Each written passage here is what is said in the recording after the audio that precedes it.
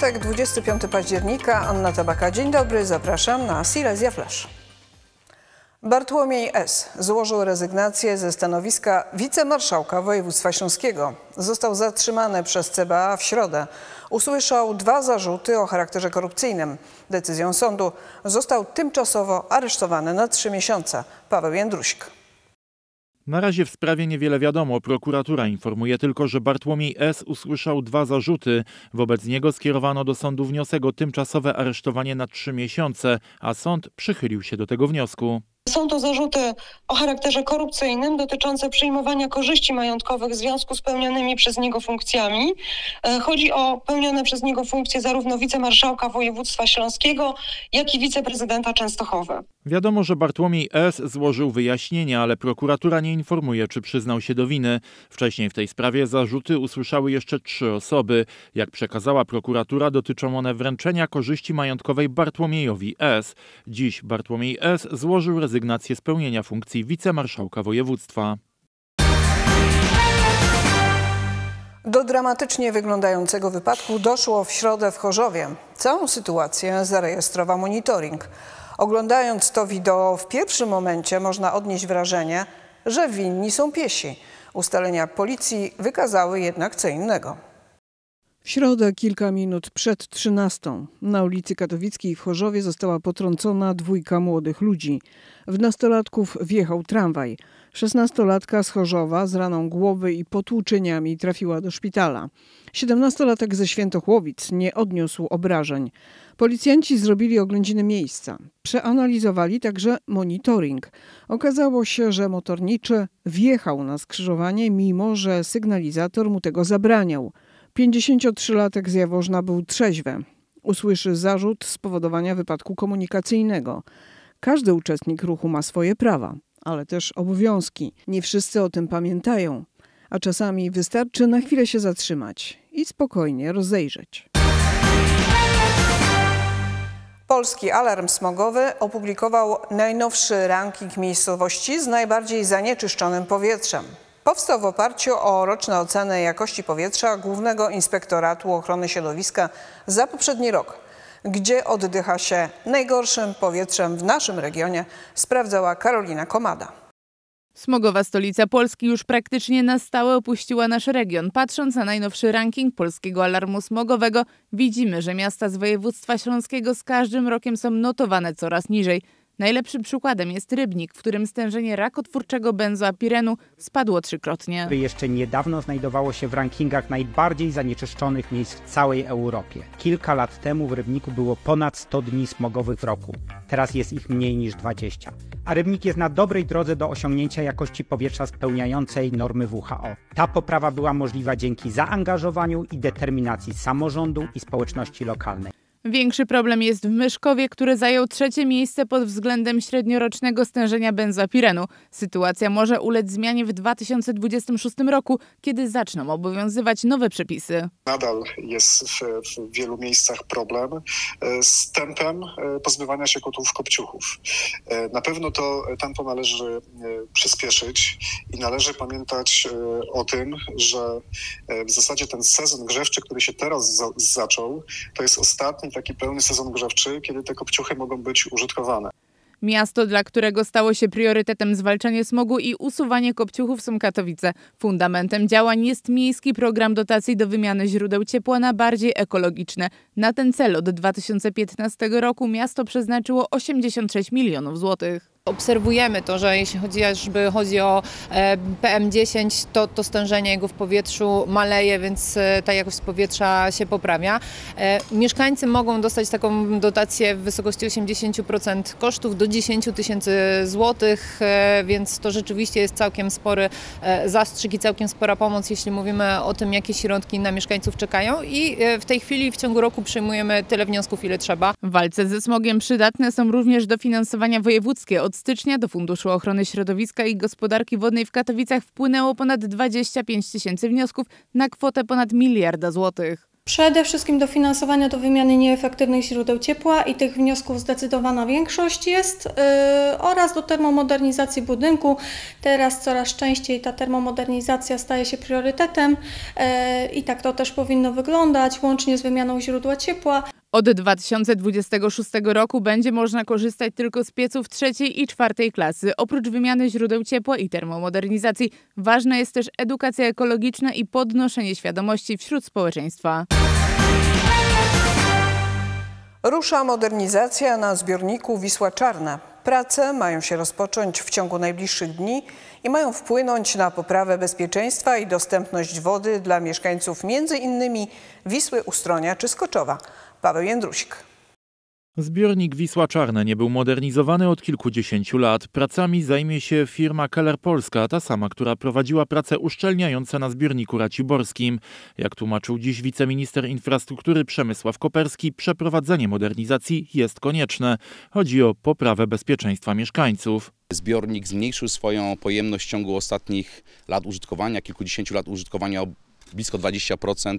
Chcemy, żeby przywrócić tą pierwotną wartość, żeby zwiększyć bezpieczeństwo przeciwpowodziowe bardzo dotkniętych przecież tutaj terenów skutkami powodzi, żeby również zabezpieczyć odpowiednie ilości wody pitnej. Ale to nie wszystko, bo remont ma wpłynąć też na środowisko. Będziemy mieli pozytywne oddziaływanie również na e, grunty rolne e, ze względu na e, większe możliwości retencyjne i alimentacyjne w czasie suszy. Prace modernizacyjne mają rozpocząć się w ciągu najbliższych dni, a jeśli wszystko pójdzie zgodnie z planem, zakończą się przed wakacjami przyszłego roku. Mamy tu do wykonania to, co będzie widać, renowacja elementów żelbetowych, ale przede wszystkim uszczelnienie górotworu, czyli stworzenie doszczelnienia bariery przeciwfiltracyjnej. Koszt inwestycji to prawie 11 milionów złotych. W trakcie prowadzenia inwestycji z pewnymi utrudnieniami będą musieli liczyć się mieszkańcy. Między innymi na 2 do 3 miesięcy będzie częściowo zajęty pas drogi w pobliżu zapory. Polityk i społecznik Wojciech Korfanty odegrał znaczącą rolę w budowaniu tożsamości naszego regionu. To on dokładnie 106 lat temu wygłosił w Reichstagu przemówienie. Powiedział, że chce dla Polski Śląska, Wielkopolski i Gdańska. Wystąpienie polityka stało się preludium do trzech powstań śląskich. Karolina Komada. 25 października 1918 roku Wojciech Korfanty w niemieckim parlamencie zażądał zjednoczenia wszystkich ziem polskich, zaboru pruskiego oraz Górnego Śląska z odradzającego się państwa. To było jedno z, można powiedzieć, najważniejszych y, przemówień y, w historii XX wieku, które określiło i wyznaczyło pewien kierunek y, działań dyplomatycznych, ale także zbrojnych mających doprowadzić do ukształtowania się granic II Rzeczypospolitej. Z okazji 106. rocznicy przemówienia w Reichstagu Grup Ślązaka został odznaczony plakietą Grup Weterana Walk o Wolność i Niepodległość Polski. Wiąże się to z wpisaniem grobu do Państwowej Ewidencji Grobów podlegających ochronie. Ładuj! Salvo! Pamięć o jego działaniach społecznych wciąż jest żywa. Polak, ale myślę, że także przede wszystkim Europejczyk, który potrafił patrzeć daleko e, i daleko wzrocznie. Coś, co e, jest rzadkością wśród, mam wrażenie, dzisiejszych elit politycznych. To był nie tylko działacz społeczny, nie tylko działacz mm, polityczny, ale również e, osoba, która działa jako przedsiębiorca. I myślę, że za tą dalekowzroczność i za to, w jaki sposób postrzegał Śląsk, do dzisiaj wszyscy powinniśmy być mu wdzięczni. W uroczystości wzięły udział nie tylko władze miasta, ale także szkoły noszące imię Wojciecha Korfantego, jak również powstańców oraz powstań śląskich. Jak uniknąć oszustw i skutecznie się przed nimi bronić? W Katowicach w ramach kampanii Fałszywa Tożsamość Prawdziwe Ryzyko odbyły się warsztaty dla seniorów. Policja, ale także inne instytucje chcą zapobiegać przestępstwom, gdzie ofiarami są osoby starsze i wspierać ich w codziennym życiu. Aleksander Kral. Zagrożenia czyhają na seniorów w najbardziej prozaicznych sytuacjach. Czasami wystarczy, że zadzwoni telefon. Seniorzy są, tak powiem kolokwialnie, naiwni i wierzą. Wierzą, że jak ktoś zadzwoni i tam przedstawi się, że jest wnuczkiem, no to babcia wszystko zrobi, żeby no, pomóc temu wnukowi. Dostałam telefon i osoba z dziwnym głosem powiem, informuje mnie, że w mojej rodzinie stało się nieszczęście. Tylko, że no, całe szczęście, że trochę w, przerabiamy ten temat, więc od razu powiedziałam, to proszę zadzwonić na 112 i odłożyłam telefon. Dzięki takim warsztatom jak te, seniorzy są bardziej świadomi działań oszustów i wiedzą, jak się przed nimi bronić. Chcemy dotrzeć do jak największej ilości seniorów. Jak widzimy, jesteśmy w takim kameralnym małym gronie, aby każdy mógł dopytać, sprawdzić swoją wiedzę, sprawdzić się jako też tutaj pierwsza pomoc, czy w prawidłowy sposób potrafi i zgłosić, w prawidłowy sposób potrafi odmówić podczas rozmowy telefonicznej osobie, która podaje się być może za policjanta, prokuratora. Dlatego są z nami i psycholodzy, i przedstawiciele Centrum Powiadamiania Ratunkowego. To pierwsze takie warsztaty w ramach kampanii Fałszywa Tożsamość, Prawdziwe Ryzyko. Pierwsze, ale nie ostatnie. Policjanci z Komendy Wojewódzkiej w Katowicach planują raz w miesiącu odwiedzać mieszkańców Śląska, aby informować i uświadamiać. Z uwagi na to, że no, mamy dużo mieszkańców też w takim wieku senioralnym i dużo zauważamy my jako policjanci, że tych oszustw jest bardzo dużo, jeśli chodzi o województwo śląskie. Dlatego jakby wychodzimy z tymi działaniami profilaktycznymi, żeby po prostu chronić tych ludzi przed tymi oszustwami. Podczas warsztatów seniorzy dowiadują się nie tylko, jak działają oszuści, ale także jakie techniki manipulacyjne stosują, aby wpłynąć na ofiary. Wszyscy jesteśmy e, w pewien sposób narażeni na wszelkiego rodzaju manipulacje, natomiast na pewno osoby starsze z tego względu, że są e, bardziej życzliwe, bardziej ufne, e, to na pewno w większym stopniu gdzieś padają ofiarami takich przestępstw na wnuczka czy na żołnierza. Warsztaty to także okazja do zdobycia wiedzy z zakresu zgłaszania zdarzeń, które prowadzi Centrum Powiadamiania Ratunkowego, a także możliwość kursu pierwszej pomocy. 25 faktów na 25-lecie. Niezwykłą wystawę o festiwalu Mayday otwarto dzisiaj w Rondzie Sztuki w Katowicach. Jak doszło do tego, że kultowa impreza ma swoją polską edycję, co ma z tym wspólnego futurystyczna bryła Spotka – jako jeden z pierwszych wystawę obejrzał Aleksander Kral. To wyjątkowa wystawa, która poprzez fotografię oddaje fenomen jednego z największych festiwali muzyki elektronicznej w Europie. Jubileuszowa edycja, jak i sama wystawa odbywają się pod hasłem 25 Years United.